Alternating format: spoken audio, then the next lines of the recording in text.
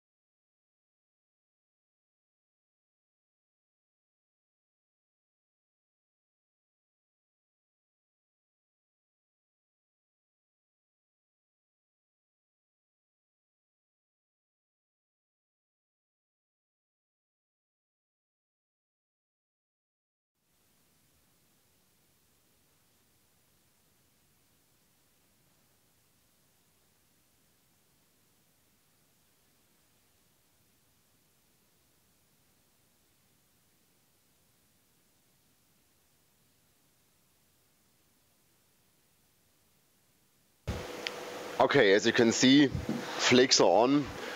Um, I'm pretty happy with the result.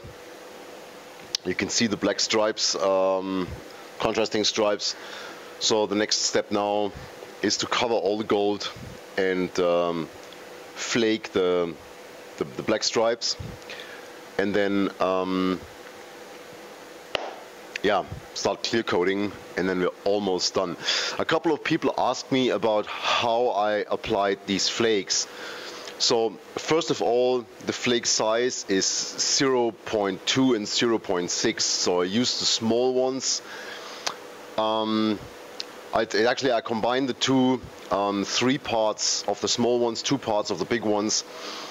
And the reason for that is that the small ones actually are good for the coverage and the big ones actually uh, bring the effect, this, this pop out, uh, the classical flake thing. And actually the color is slightly different. I mean, it's the same color when you order them in the catalog, but it looks like the big ones are a little bit more goldish, um, whilst the small ones are a little bit more like copper. Anyway, I think the result is great. Um, the application um, I did with this gun, which is a, um, a suction DeVilbiss with a 1.8 tip, and there's a couple of um, of balls from a ball bearing in. So when you shake it, you can um, when you shake it, these balls actually steer up the flakes, and um, so in my opinion, that's the, the, the best uh, gun to apply the flakes. Um, as I said, it's a 1.9 tip, and um, yeah, that's the way I do it. And another important thing is that I do not mix the flakes into clear coat because clear coat uh, takes a while to dry. It builds up pretty high, so I use um, clear binder which means um, I have less build up. It's much more sticky, and in the end, I mean, I basically just want those flakes to stick to the surface. I don't want to build up big layers.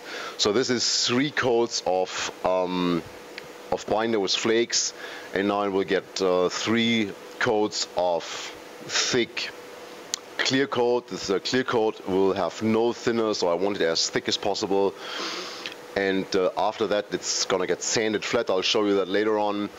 So till it's completely dull again so this all the all the low spots have to be gone or actually all the high spots have to be gone so you don't see any low spots anymore. And then it gets another two layers of um, UV protective clear coat on top and then a final polish and then the, you get this um, this glass-like finish. All right. Now comes the nasty part I have to um, tape off all the gold, this especially in the small parts will be a bit of a pain, and then um, we start flaking again.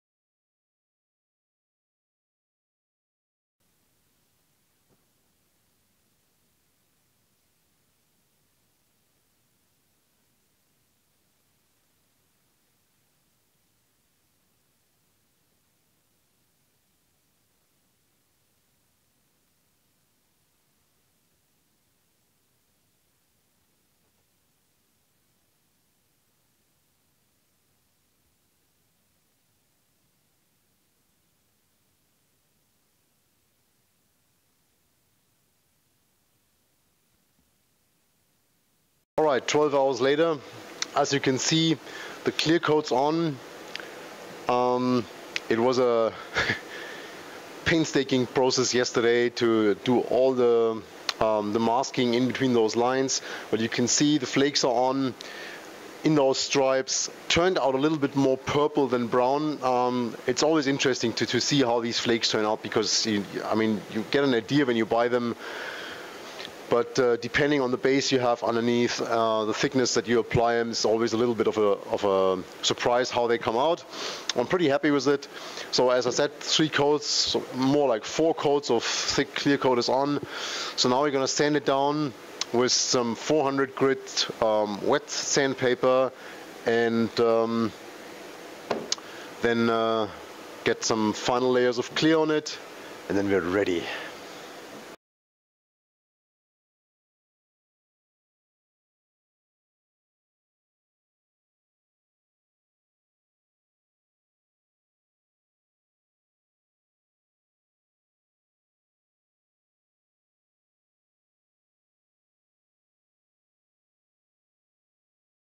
All right, it's December 2nd and she's ready.